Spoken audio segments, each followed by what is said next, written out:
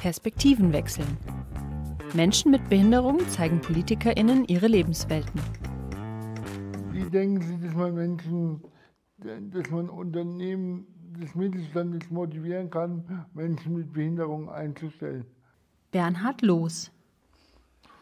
Also, äh, wie gesagt, ich habe selber äh, ein Unternehmen, weil es eine private Schule, die ich habe, die ich 30 Jahre lang geleitet habe, da war das immer eine ganz normale Selbstverständlichkeit. Aber ich äh, weiß, was Sie ansprechen, darum habe ich Ihnen ja gesagt, dass es mir, äh, also dass ich mir wünsche, dass äh, Menschen mit Behinderung auch viel mehr Chancen auf dem ersten Arbeitsmarkt bekommen. Da haben vielleicht der eine oder andere, äh, ja, oder das eine oder andere Unternehmen, ja, vielleicht äh, ein bisschen Angst davor, welche Herausforderungen da auf einen zukommen. Viele wissen auch gar nicht, dass sie notwendige Unterstützung bekommen. Viele brauchen ja zusätzliche Unterstützung, was ja auch für ein Unternehmen eine finanzielle Belastung oft ist. Und dann sagt man, ja, das äh, lassen wir lieber sein, das ist uns äh, vielleicht zu teuer. Die wissen also auch nicht, dass sie das zur Verfügung gestellt bekommen.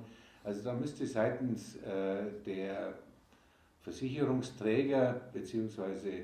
Äh, denjenigen, die diese Finanzierung vornehmen, dass die auch ein bisschen mehr auf die Unternehmen zugehen, also auch die Reha-Abteilungen in Arbeitsverwaltungen mehr auf die Leute zugehen, äh, also auf die Unternehmer äh, was für Möglichkeiten äh, geschaffen sind, welche Vorteile es auch hat und dass es eigentlich in, in, diese, in dieser Welt eine ganz normale Geschichte ist.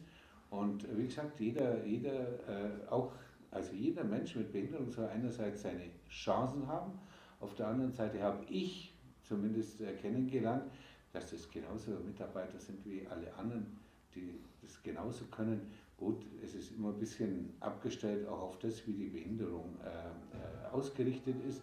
Da muss man halt dann drauf eingehen.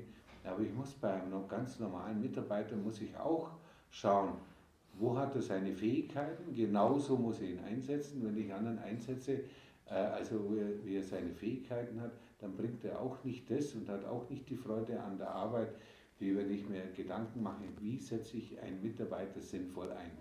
Und das geht, das kann, das kann man sehr gut machen, man muss sich mit der Thematik befassen und es funktioniert einwandfrei. Ich bedanke mich für das Interview. Dreh und Schnitt sind von der Medienschmiede der Pfennigparade WKM GmbH. Vielen Dank an alle Mitwirkenden.